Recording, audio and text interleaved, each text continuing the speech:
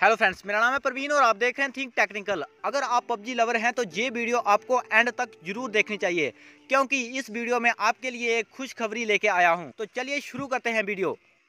PUBG mobile और PUBG mobile lite Bharat सरकार ने सितंबर में बैन कर दिया था, परंतु उसके बाद 30 अक्टूबर को पबजी मोबाइल भारत में पूरी तरह बंद हो गई थी, क्योंकि कंपनी ने भारतीय सर्वर को ही बंद कर दिया था।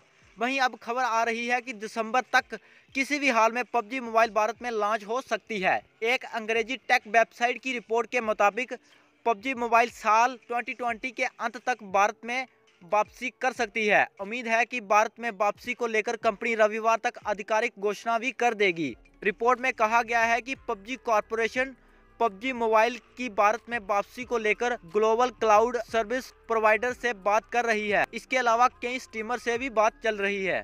पबजी ने अपने ऑफ़िस के लिए लिंकड पर वैकेंसीज भी निकाली हैं। इससे साफ़ ज़ाहिर होता है कि पबजी मोबाइल भारत में वापस से लॉन्च हो जाएगी।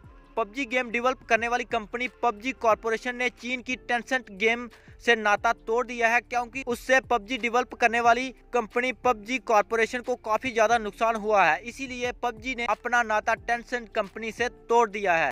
इसके बाद ही भारत में पबजी की वापसी की खबर आ रही थी।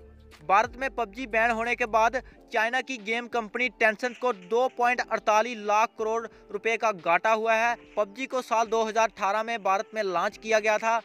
और साल 2020 में बैन होने तक पूरी दुनिया में पबजी के 24 फ़ीसदी यूज़र भारत के थे। अगर आपके मन में कोई कन्फ्यूज़न है तो हमें कमेंट बॉक्स में ज़रूर बताएँ। इसी तरह की और भी वीडियोस के लिए आप मेरे चैनल को सब्सक्राइब कर सकते हैं और वेल आइकन प्रेस कर सकते हैं ताकि आने वाली हर वीडियो आप देख सकें। मिलते हैं किसी नई वीडियो में नए टॉपिक के साथ। तब तक के लिए गुड बाय